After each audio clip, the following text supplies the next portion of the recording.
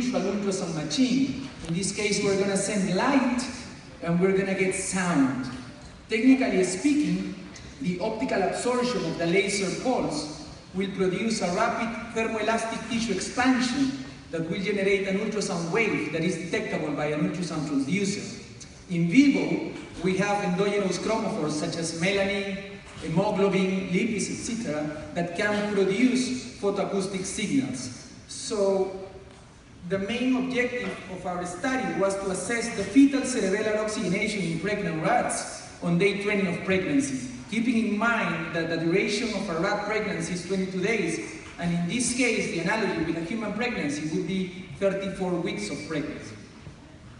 This was an experimental pilot study in four rat fetuses from two different pregnant rats, in which we first identified the cerebellum by drawing the region of interest around it, and then we assess its oxygen saturation by identifying the red pixels, highly oxygenated, and the blue pixels, less oxygenated, and we are going to focus mainly on the average oxygen saturation, which results from dividing all the oxygenated pixels over the oxygenated and the deoxygenated pixels.